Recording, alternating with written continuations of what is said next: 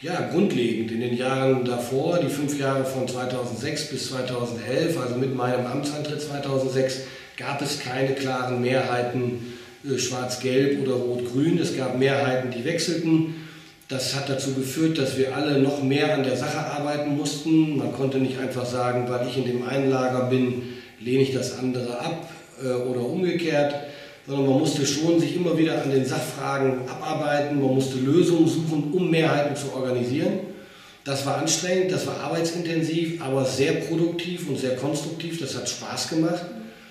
Äh, und jetzt haben wir die Situation, die, die man üblicherweise hat, nämlich dass ein, eine Fraktion mit einer weiteren Fraktion eine Mehrheit stellt, eine stabile Mehrheit, mit der sie Mehrheitspolitik betreiben kann und bei der dann eben andere Fraktionen in der Opposition sind und ich dann eben als Oberbürgermeister daneben oder davor oder da drin, wie immer Sie das bewerten, sodass äh, wir uns alle jetzt an die neue Situation erst wieder gewöhnen müssen.